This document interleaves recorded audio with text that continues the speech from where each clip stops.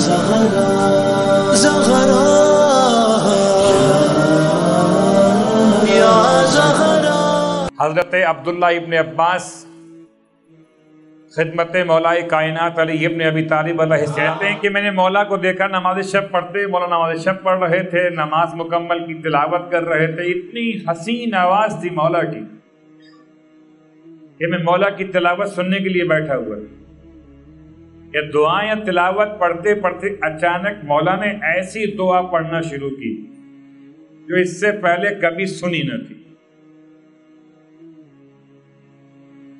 तो कहते हैं, इब्ने अब्बास में मौला के पास पहुँचा, यानी करीब आ गया, बारगाह में हाजिर हो गया।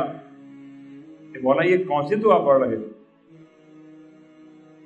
इब्ने अब्बास, ये दुआए सनम कुरैश है।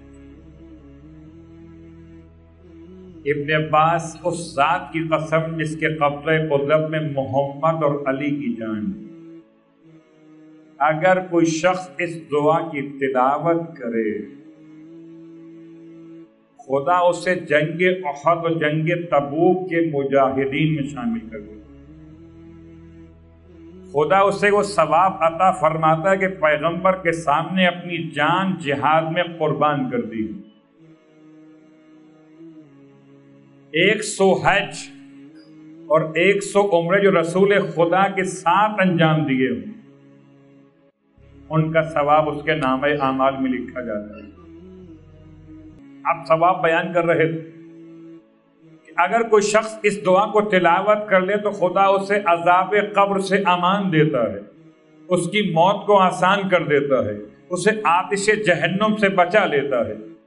अगर कोई शख्स परेशान हाल इस दुआ की तिलावत करे, खुदा उसकी परेशानियों को टाल देता है।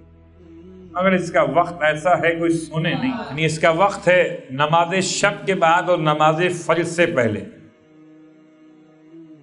उस वक्त में आप पढ़ सकते कि मौला ने उसी वक्त में पढ़ी है।